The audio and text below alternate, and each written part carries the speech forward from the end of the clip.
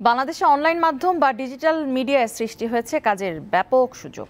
Facebook ও ইউটিউবের content তৈরি করে মাসে কয়েক লাখ টাকা পর্যন্ত আয় করছে অনেকে। গতানুগতিক চাকরির পেছনে না হেঁটে এই মাধ্যমকে পেশা হিসেবে নিচ্ছেন তারা।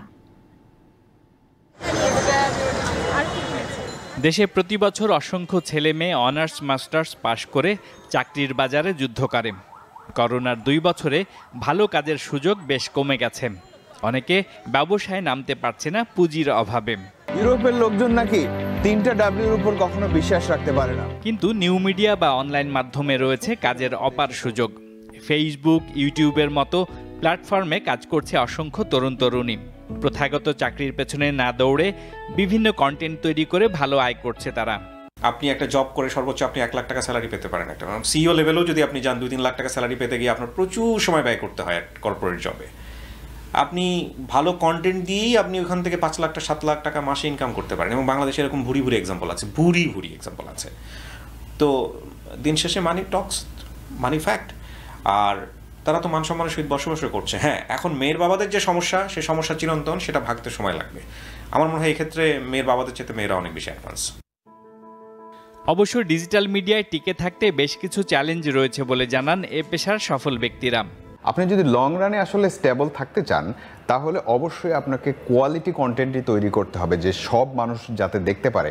এই ক্ষেত্রে এই চ্যালেঞ্জটা হচ্ছে যে ওই কোয়ালিটি কন্টেন্ট যতক্ষণ পর্যন্ত আপনার নিজস্ব দর্শক শ্রেণি তৈরি না হচ্ছে ততক্ষণ পর্যন্ত কিন্তু আপনার হচ্ছে ইনভেস্টমেন্ট টাইম সেটা আপনার মানি হতে পারে পরিশ্রম হতে পারে আপনার ধৈর্য হতে পারে এই তিনটা ইনভেস্টমেন্ট আপনাকে করতে হবে। তো সে গোপন করেছে। অনেক অভিভাবক সরকারি চাকরিজীবী ব্যাংকার অথবা অন্য স্থায়ী পেশায় গুরুত্ব দিচ্ছেন। বাংলাদেশেও এই অবস্থার পরিবর্তন হতে কিছুটা সময় লাগছে বলে মনে করেন সফল ইউটিউবাররা। আমি ড্রয়িং শিখাই, কিন্তু আমি কখনো ড্রয়িং শিখি নাই প্রাতিষ্ঠানিকভাবে। আমি সম্পূর্ণ নিজের প্রতিভা দিয়ে এই পর্যন্ত আসছি।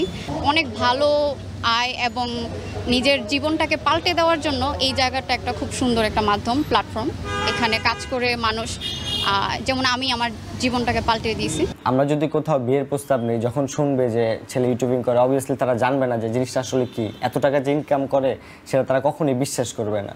তার চলে দেখা গেল যে এইটাকে কেউ ক্যারিয়ার হিসেবে দেখতে চায় না। মনে করে যে যে ইউটিউবিং করে মানে সময় নষ্ট বা হচ্ছে যে ওরকমের কিছুই না।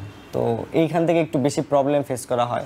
বাট যখন এখন তো আধুনিক হইতেছে সব কিছু যখন দেখবে, বুঝবে, তখন আর এটা আমার মনে হয় না আর সমস্যা হবে।